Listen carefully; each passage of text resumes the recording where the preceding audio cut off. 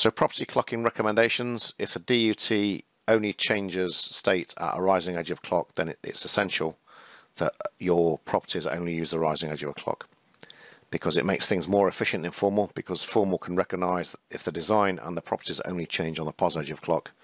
There is no need to evaluate anything on the negative clock. It saves a lot of time very significant performance increase.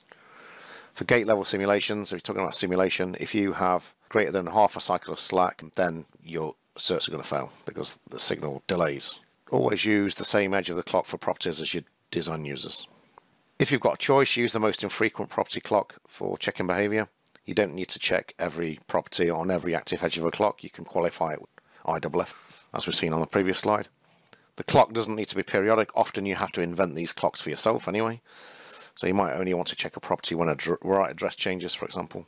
There's no need to do it every single clock because it will take more evaluation time. And always take time to understand the issue. So if you get the clocking wrong, everything else is wrong.